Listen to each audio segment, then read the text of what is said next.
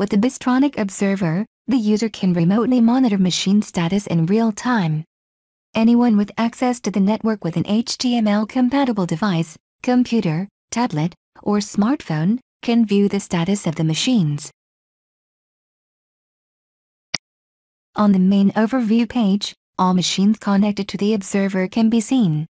This includes the current status, as well as the progress of the current job. By selecting a particular machine, more detailed information can be viewed. The current data is displayed, indicating the job information and progress. On the Job List tab, all of the jobs loaded on the job list can be displayed. This includes the current job, previously completed jobs, and future jobs.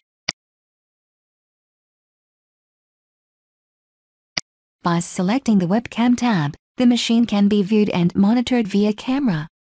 In addition, the machine may be stopped remotely if the user notices a machine anomaly. It cannot, however, be started remotely. Any current status displays will be shown on the Status tab. This includes any warning or error messages.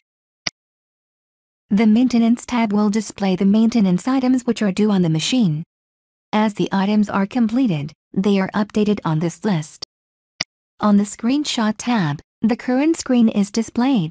This includes the screensaver should one be enabled.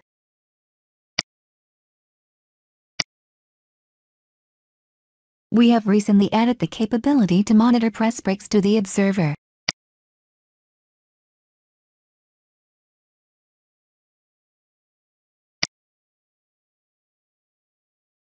The Bystronic Observer is available on any laser with a ByVision control software of P8007 or higher, and press brakes with ByVision bending version 1.4 and higher.